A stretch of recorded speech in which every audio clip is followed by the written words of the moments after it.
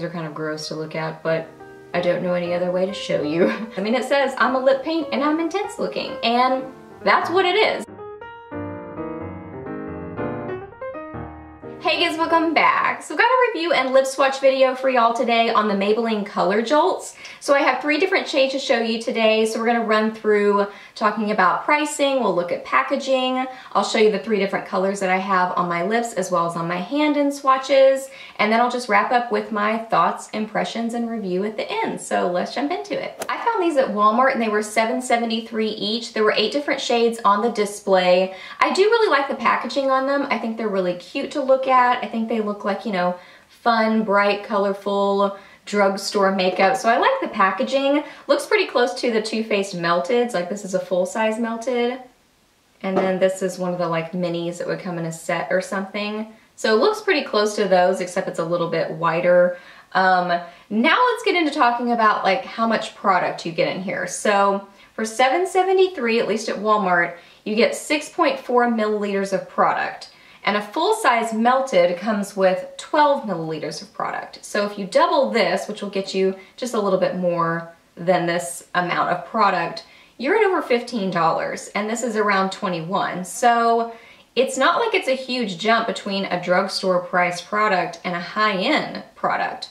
So it's not that I'm upset about the amount you're getting in here. I just wish that it were not as expensive. I wish it was like around $5 or something versus like $7.73. I think it's just a little bit high priced for how much product you're getting in here, but I do think it's really cute to look at in the packaging. And then for the applicator on these, they look very similar to the Too Faced Melted, so it's that kind of like slanted sort of an applicator. I know these are kind of gross to look at, but I don't know any other way to show you. so this is what it looks like. Um, these are a little bit smaller, a little bit skinnier, but they do have that still like slanted look to them.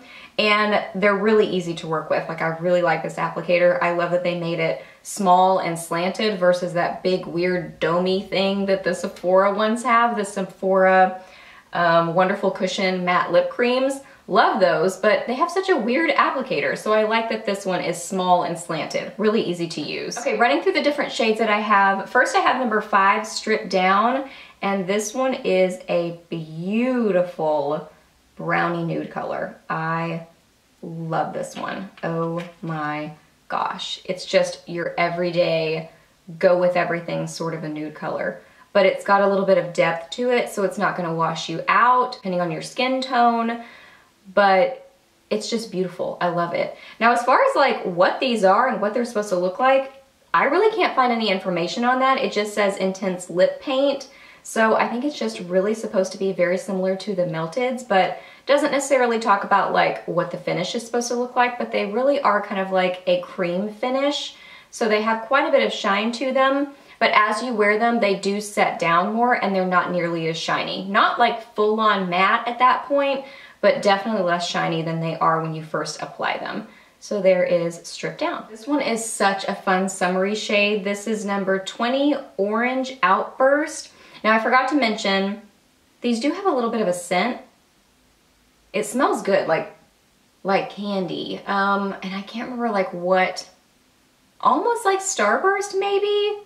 I can't remember what specific candy smells like that, but they smell like candy but not super overpowering. But I can smell it when I'm applying them and using them, but as I wear them, I don't really notice that scent. So there is Orange Outburst, just a beautiful, bright, corally orange. I think this one is so fun. Really just a bright statement sort of a color. And then lastly, I have 25 Talk Back Red. And this is a beautiful bright red. It reminds me a lot of one of the color blurs from Maybelline, one of my very favorites from that line, and I can't remember what the name is. Uh, I'll list it if I can remember it and find it, but it's just that sort of like bright, beautiful, sort of summery, pinky red, you know what I mean? Like it just has a fun side to it, so I feel like it's less of a statement um, classic red and more of like a fun, sweet, girly red. Just really beautiful, like a raspberry sort of a shade. Love that color. So as far as the formula goes on these, they're really kind of a little bit strange. Like, I don't know how else to describe them. They're just different than what I was expecting. Maybe I shouldn't say they're strange. They're just different than what I was expecting. I was really expecting more of the Too Faced Melted sort of a formula, and while they do have similarities that they both start out kind of more shiny, creamy sort of a sheen to them, and then they set down to more of a matte, these both kind of do that.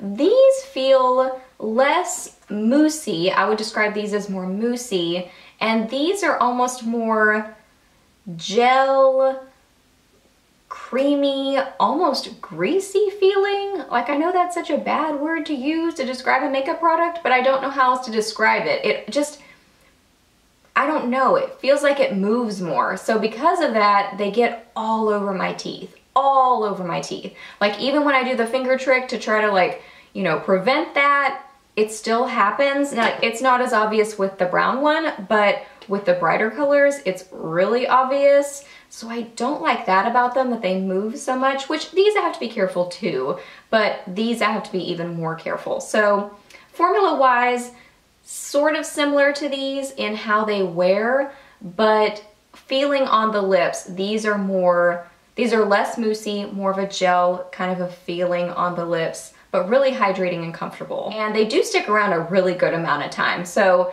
I noticed that especially if I put them on and left them alone and didn't eat or drink or anything and really kind of gave them time to set, they wore really well, like a lot better. Like if I went ahead and ate, they were kind of all over the place, pretty much all over my face. So don't do that. I would say don't wear these if you're about to go to dinner. But if you're having like a long work day or something, maybe you could apply these, kind of let them set and get all situated, and then they're gonna stick around for a good amount of time. And I think that I, I seem to like them more the longer I wear them. So at the beginning, when they're more glossy and they're moving around so much, I'm self-conscious about them. But once they set down, I like them more because I'm not having to worry about it quite as much. So I think that they almost get better as you wear them. Overall, I'm just kind of on the fence about these. I really want to love them because I love drugstore makeup, but I'm just not quite sure that I do.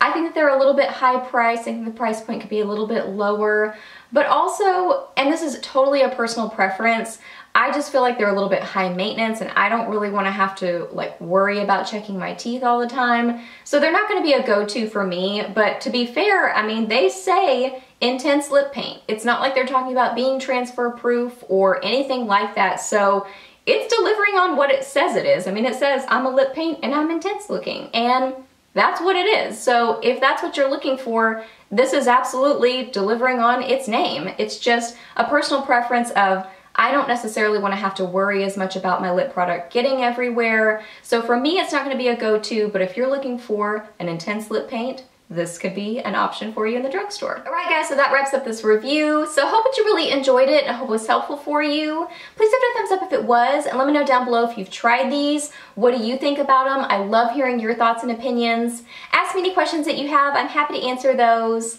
Please subscribe to my channel if you're not already and I'll see you in my next video. Bye!